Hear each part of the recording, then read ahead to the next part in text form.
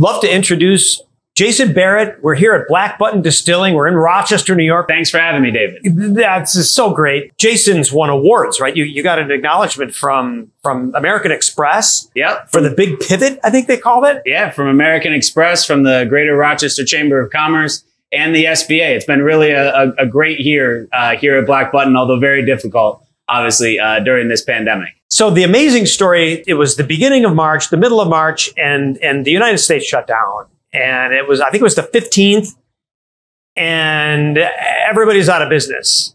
And within three days, Days, days. within days, Black Button Distilling is cranking out, cranking out hand sanitizer. Jason, tell us about it. Yeah, so so let me take you through that week. I mean, just such an emotional roller coaster. We find out, you know, the governor asks businesses to uh, voluntarily close. Distilleries are not an easy thing to shut down quickly. We've got live yeast in the fermenters that cannot be left untended. So here we're pulling double shifts, trying to just crash the fermenters, get everything to a stable place so we can lock up and and obviously uh, stay in our homes. And uh, and on Tuesday, you know, we furloughed the entire staff. And I, you know, I said to my CFO, you know, eight years to build it, eight hours to watch it all go down. And it's two days later, I get this email from the FDA and they're like, Hey, emergency authorization. If you can safely handle ethanol, if you can get yourself some glycerol and some hydrogen peroxide, if you follow these exact steps and label it exactly this way, this is emergency hand sanitizer.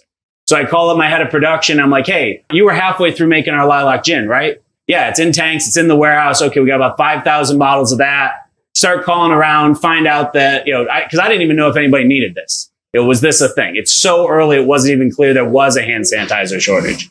So I get in touch with Rochester Regional Health. I, I end up getting connected to their head of procurement.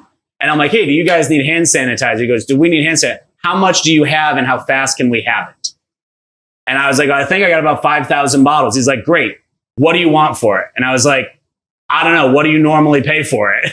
So he tells me the price. I do a little math. I realize we're not going to lose money, probably not going to make any money, but we can get our guys back to work. We can do good for our community. So in about three days time, you know, we, we are able to get our label provider to make some emergency labels. We get the glycerol from, uh, from a salad dressing manufacturer here in town. And we get hand, the uh, hydrogen peroxide literally from under my staff sinks. You only needed a little bit you know, we only needed about 16 ounces to make the first 5,000 bottles. Wow. So I literally put out an all company call. If you have hydrogen peroxide under your sink, bring it to the plant and we will pay you in your next check.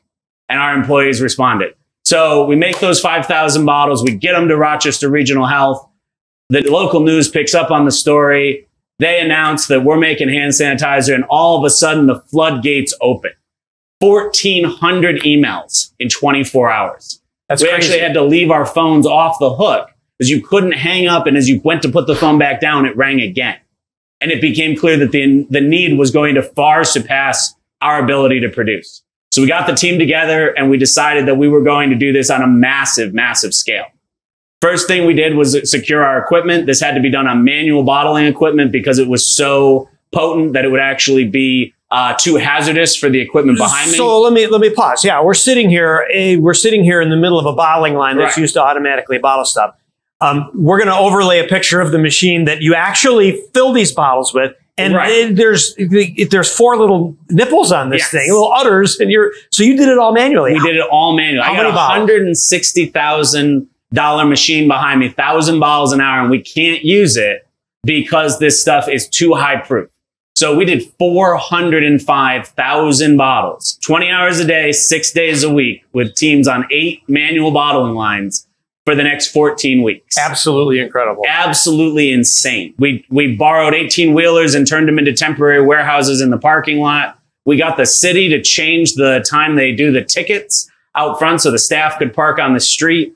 When you would order a pallet, we would give you a pickup time and people would show up early and we're like, no, you, you have the 315 pallet because we're making a pallet every 47 minutes and your pallet's not done yet because it was all just in time delivery in order to be able to do 405,000 bottles in 3,600 square feet. We are not built to do this. We, we make a thousand bottles a day. We were making 17,000 bottles a day at its peak. In and out. Absolutely. In and out. Absolutely incredible. A Herculean lift.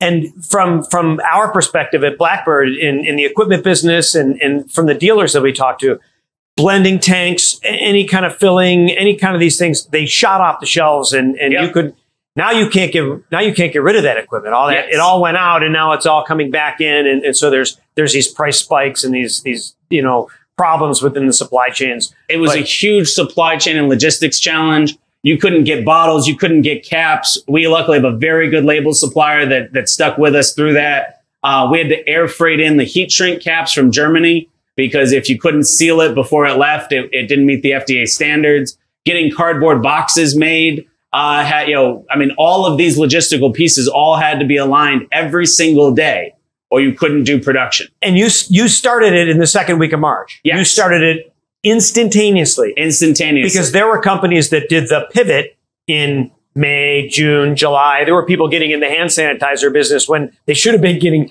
out of the Yes. hand sanitizer business. yeah. So are you making any hand sanitizer now? So the emergency authorization ended in December, but actually I can tell you we stopped at uh, July 28th at 1.30 in the afternoon was the last order. And everybody And literally cheered. as fast, if you'd had 10 times as much in April and May, you could have sold every drop. But as fast as it went up, come August, everybody had stocked up. And I think part of the problem was people didn't know how much they needed. So they bought a case, stuck it in their basement, and now come to find, I mean, every bottle had 250 hand washes in it. Yeah. Even if you're doing it a couple times a day, 250 hand washes lasts for a while. I have a basement full of toilet paper. There you go. You're set for life. And they're seeing those same demand curves in those things that spiked. So it, it was really an interesting challenge, uh, but the, the whole team, you know, just responded so well. And one of the things that I think we did really well, really early on is that we made it simple. You could only buy it by the pallet or the case. You want three quarters of a pallet? I can't help you. Buy a pallet or buy a case. Was only one price for each. There was no special discounting. It kept it very simple. Everything was pay in advance. You want a pallet? You send me $900. When your $900 hits my bank account, we'll give you a time to pick up. Don't be late and don't be more than 30 minutes early. That's the way it works. That's the way it was. And rarely are you in a position where you can dictate terms like that to your customers. But being able to be that efficient was critical because again, that pallet wasn't special for you.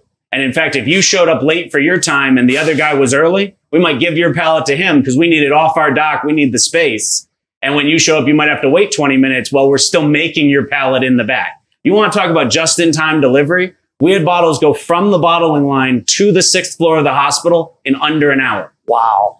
That's fascinating. Because in those early days, that's how desperately they needed it. They actually had a car from the hospital every 15 minutes leaving from here, taking whatever we'd made in 15 minutes and taking it to the hospital. Living and pivoting through perilous times. Our story here with Jason Barrett at Black Button Distilling. Jason, thank you so much for your time. Thanks for having me.